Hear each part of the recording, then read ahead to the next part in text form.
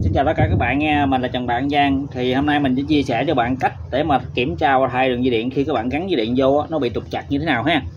Đó thì trước tiên là các bạn thấy không, hiện tại thì cái đường dây điện á khi mà người ta bán cho mình cái đường dây điện thì nó không thể nào mà có liền mạch được các bạn. Đó thì giống như gan như là cái chui dưới này nè cái chui này thì nó không có đâu. Thì nếu mà các bạn muốn thay đường dây điện mới thì mình cần phải cần kiếm cái chui khác. Nó mình cắt mình đấu dây thì quan trọng là không có không có không có trùng màu nha. Mà quan trọng các bạn nhìn cái mạch đây nè với cái mạch ở đây nè. Đó thì các bạn đấu vô. Đó. Đó là cái thứ nhất. Với cái thứ hai là khi đường dây điện á, thì ở cái cái mạch báo xăng này thường thường cái mạch báo xăng này nè các bạn nó sẽ không có cái ờ, nó không có giống nha. Ví dụ ở đây nó sẽ có chui cái thì đây chui đực thì cái thì ở đây là cái đường dây ở đây là cái chui cái chui chính thì các bạn cần phải giữ cái chui này lại. Xong khi là mình à, sẽ đấu cái à, cái chui này vô nè, với cái chui báo xăng ha. Đó, thì tại vì cái chui này là chui g, cái báo xăng thì có thể mình dục bỏ được. Chứ có nhiều anh em không biết thì cắt cái đây nè. Cắt cái đây đấu đây, lấy cái chui này đá đây đây, gắn đây, thì đã sai lầm ha. Cái đó là cái sai thứ hai. Đó, và khi gáp dòng điện vô thì nó sẽ bị lỗi chỗ này nè. Thì ví dụ tất cả các chú anh chị không biết không biết mạch của nó thì mình chỉ cần nhìn nè. Ví dụ ở đây nè ở đây có cái dắt giống màu, thì mình sẽ cần nhìn giống màu đây làm đấu vô nè. Thấy không? Còn dây chu khóa thì mình gắn vô. Đó. Và đặc biệt á, là cái này nãy mình làm rồi nè. Nó mình làm rồi ha. Thì ở đây cái dây báo số thường thường cái dây báo số nó không, sẽ không giống 5 dây như vậy đâu. Nó sẽ có thêm một cái cọng dây lửa nằm ở đây nè. Nó nằm ở đây mà tất cả cô chú anh chị không biết ha, mình gắn vô đây nè. Khi mà đấu vô khi mà gắn vô đây thì nó sẽ chạm mát xong rồi nó cháy quéo dây điện hoặc là đứt cầu chì ha. Đó nếu mà có cái cầu dày thì hên đứt cầu dày, còn nếu không nó cháy đường dây điện mới luôn. Thì bắt tiền bắt bắt buộc phải tốn thêm thêm một cái tiền đường dây điện nữa. Đó. Còn mấy cái này thì đã câu chú anh chị nhìn giống màu, giống như hiện đây hàng này. Đó với này thì giống màu là ok ha. Nó và hiện tại nè, sau đây gắn ok hết trơn rồi, sau đây có một cái bệnh nè. Mình sẽ mở lên cho các gì xem nè ha. Đó, lúc này mình mở khóa lên nè, mình bóp càng nè. Càng nó kêu nè, lúc mà xi nhan nè. Đó mình xi nhan nè, thấy không? Thấy nó chạm không? Đó, nó chạm mặt. Đó, thì tại sao nguyên nhân mà nó bị như vậy? Đó, thì sau đây này à, sẽ quay. Đây, nguyên nhân nó nằm chỗ này nè. Các câu chưa thấy không? Thấy không? Đây nè, cái gọng dây pha nè. Cái gọng dây pha của mình á, cái gọng dây pha của mình nó là lúc này nó sẽ ăn với cọng dây nhanh nè. Thấy không? Thấy nó ăn với cọng nhanh không? Tức là hiện tại nó bị chạm. Tức là pha nó sẽ ăn với nhanh bởi hiện tượng mình, khi mình mở nhanh lên nó có hiện tượng nó cháy luôn hai đèn liên tục á. Đó. đó, thấy không?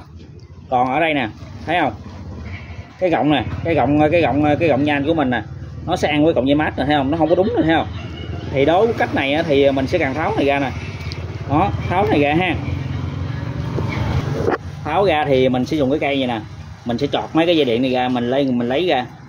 Rồi mình gắn lại vào thì nó sẽ giống như như ghim đó ha, không có cái gì trên luôn. Đó, thì nó bị hiện tượng nó bị như vậy đó thì hiện tại mình thấy ở cái ở cái cụm dây điện này đã câu đúng chị thì có một số dây nó trùng thôi, còn một số dây thì nó không trùng, cho nên mình bắt buộc phải chọt cái chân hàng này ra luôn ha. Rồi sau đây mình sẽ tìm trùng trùng của nó mình chọt lại tất cả quý anh chị. Bên này các bạn, sau khi mà mình chọt cái hết, thì lúc này các bạn nhìn á, nhìn màu dây này là có dụng không? Đây là dây đèn lái nè, thì các bạn nhìn dây đèn lái nó đúng. Thì đây là dây màu xanh là dây đèn pha, thì các bạn chỉ cần lấy dây đèn pha mình gắn đúng màu đúng màu lại là ok ha. Nó tại vì cái này nó bị ờ, rất là nhiều, cho nên mình tháo luôn làm cho nó nhanh các bạn ừ. thì các bạn sau khi là mình đã chữ xí nè các bạn thấy không? Thì uh, mấy cái chỗ này nè các bạn cần phải nhìn cho nó giống màu của nhau. Giống màu dây tức là nó, cái mạch điện nó lên là là nó y gan như vậy đó các bạn. Còn khi mà nó khác màu dây thì nó bị sẽ bị chạm hang đối với đường dây mới các bạn. Còn đường dây cũ thì nó lại khác nữa ha. Thì sau đây mình thử cho bạn xem nè. Thì lúc này mình mở khóa lên nè các bạn thấy không? Nè mình nhanh nè ok nè nhanh cái nè đó ok nè. Mình bóp càng nè thấy không? Ok đó ok chưa ha? Đó đề nè đề cũng được nè nhưng mà do mình chưa gắn dây xăng cho nên là nó không có nổ máy được các bạn. Đó. Thì đèn lái này ok các bạn thấy không? Đó. Thì cái đèn lái này ở lần sau này các bạn cần chú ý nè, ha, có nhiều cái là nó không có trúng dây ha. Với ờ, một cái đặc điểm là khi các bạn chú ý nè, khi mà các bạn thắng này nè, thì các bạn cần phải nhìn cái tim đèn ha. Đây là hiện tại nè, cái này nó bị sai nè, mình chưa chỉnh nè. Nó mình quay video mà mình chưa kiểm tra các bạn. Ban giờ nè? Thấy không? Các bạn thắng các bạn thắng thì ờ, nó phải cháy cái tim đèn lớn nha còn cái này là nó cháy tim đèn nhỏ các bạn tim nhỏ này để dành cho những cái đèn khi mình mở mình mở đèn trước thì nó cháy đèn lái sau á. Nếu mà các bạn để cho cái tim ờ, cái tim đèn ở đằng trước mà nó cháy cái tim lớn á, thì nó cái đèn bóng đèn trước nó rất là tối luôn các bạn không không phát hiện cái bệnh gì luôn ha.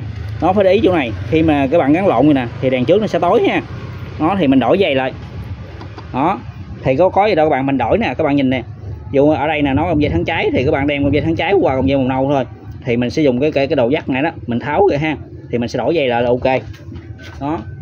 Còn đối với những xe Trung Quốc á, thì mình khuyên các bạn á, là không có đấu nha không có đấu cái cái cái cái, cái dây thắng cháy ở cái tay thắng bằng. Mình cắt bỏ đi không có xài. Thì mình xài dưới chân. Mình xài dưới chân thì các bạn chú ý một điểm này nè. Khi làm điện các bạn để ý nha. Thì cái có khi không để ý thì các bạn dẫn đến hiện tượng là thay đường dây điện vô là cái xe của mình hết bình hoài luôn. Tức là mình canh làm sao mà cái này là các bạn cho nó vừa phải ha.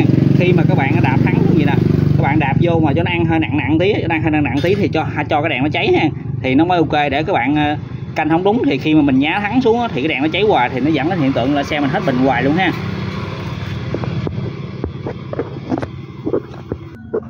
Rồi các bạn thì ờ, làm được dây điện thì ờ, những điểm mình chú ý là như vậy đó. Rồi mình là chồng bạn Giang ha. Video của mình đã được thúc. Nếu các bạn xem video của mình theo ok thì nhớ cho mình một like và đăng ký kênh hồng nhé cảm ơn tất cả các bạn.